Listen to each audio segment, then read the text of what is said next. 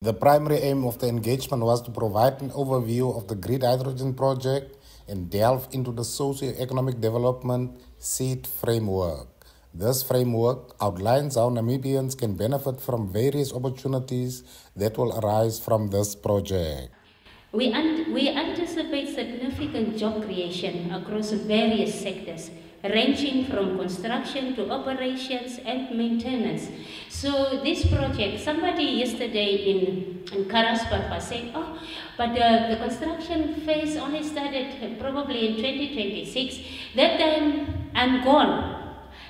If Jesus decides you should go home and raise others that are remaining will benefit.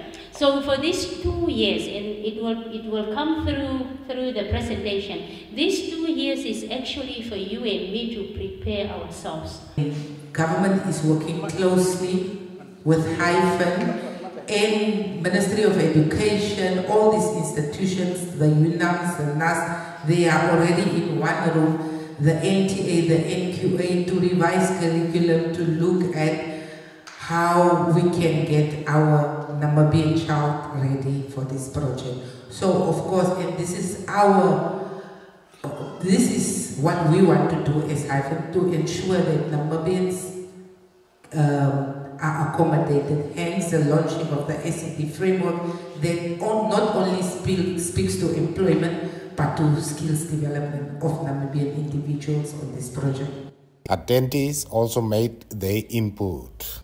I will urge Hyphen to look at it right now. 2026 is two, three years from now.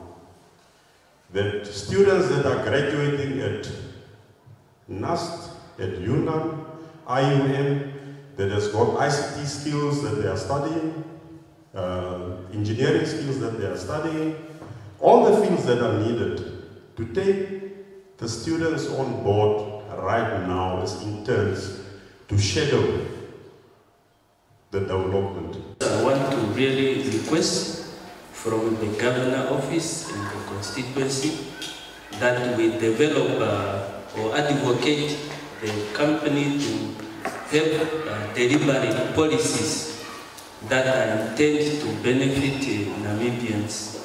Because in most cases we have the ideas, but what is challenging is, is finance. And if not the policies are not uh, advantaging, uh, obviously the opportunity will be taken up by people abroad. A similar information session was held at Karasburg in Warmbad. Lukman Klute, NBC News, Oranjemund.